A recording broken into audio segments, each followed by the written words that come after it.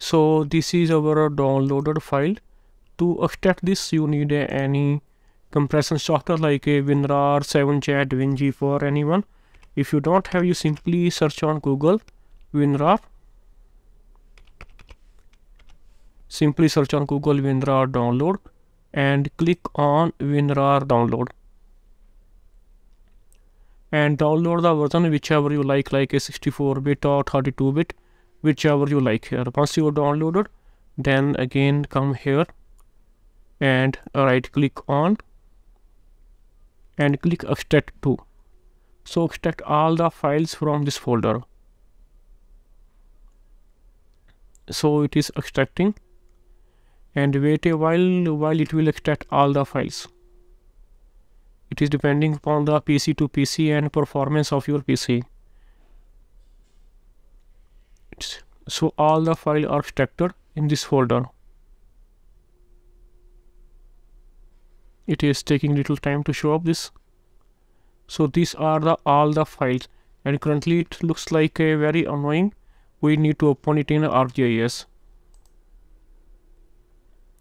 so better you can rename also this folder like she will remember this image of a 10 March 2022 it is sometimes better to rename this folder. So we have all the files in this folder. Now we need to make a stack of these files. So start ArcGIS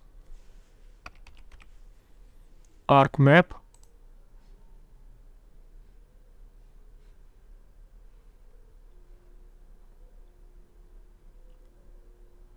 so it, it's opening now we are doing the pre-image processing. This is a little heavy software. This will take some time on some pc so i recommend to use a pc with a solid state drive in it. So in this pc also have a solid state drive even that it is taking a time to open it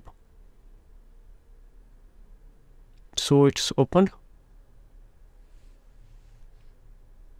Cancel the window and here in this window we nothing need to do. We go need to go to data management tool. In the data management tool go to raster and raster processing. And here is a one tool is written composite bands. And double click it it is asking for the input rasters so click on a browse button. And browse here you, your files has our files has in a crop by folder 10th March. And in this folder even near infrared and red band is only required for the analysis but we just we cannot say the crop has a notch signature in other band. Like crop has a signature in green band. Also it has a near infrared short wave infrared and blue band. Means if something is there it is reflecting something in all the bands. So it is better for our model to take all the model to all the bands. So select first one. Click shift button second third fourth fifth sixth. And we are taking seven bands of this image so even it is not a mandatory to take all the seven bands. If it is a case of a sentinel satellite, you only need to take a very few bands like a 10 meter bands that is sufficient.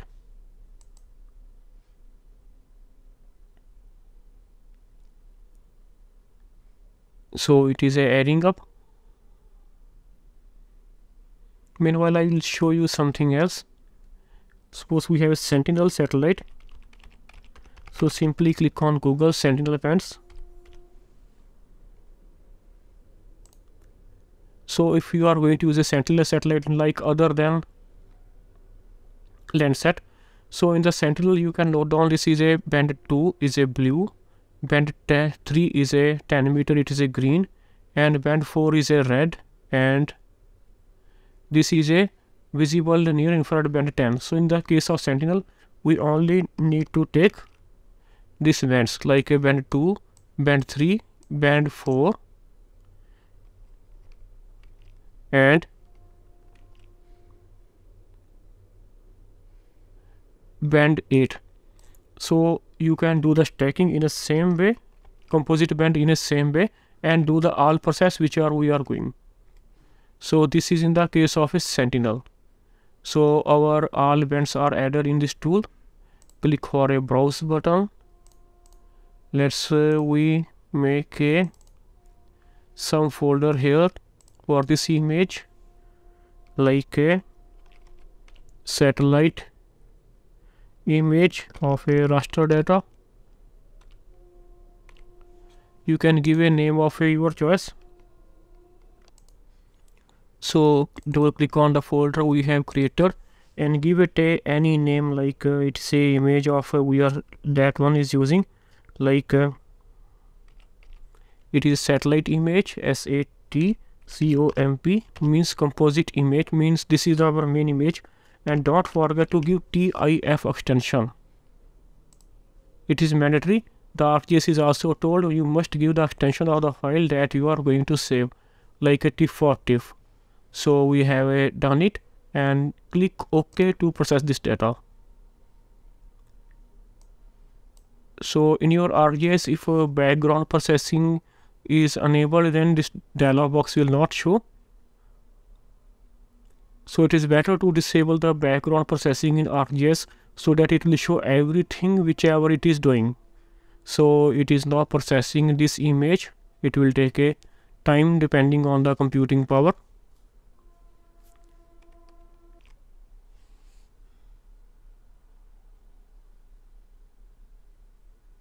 So processing is a going on and you need to wait a while while the process is completed. so it's again going on. It may take a considerable time depending on the computing power. So it is about to finish. Let's check it out so it is completed. So this is our how our image looks like. So one thing more for the further process in your ArcGIS go on geoprocessing option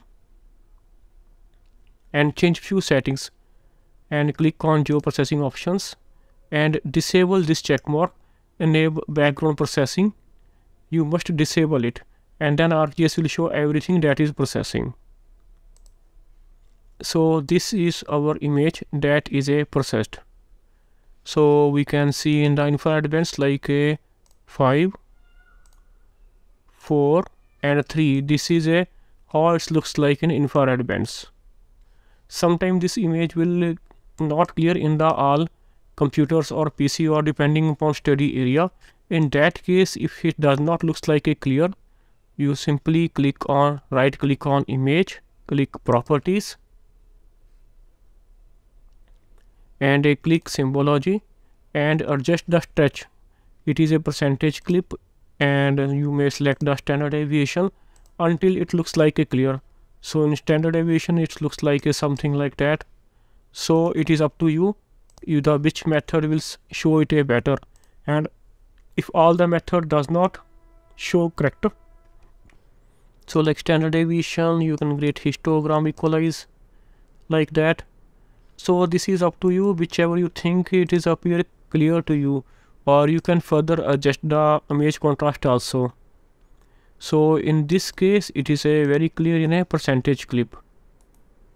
And if further it is not clear you can click on display and adjust the crop brightness contrast and that's all.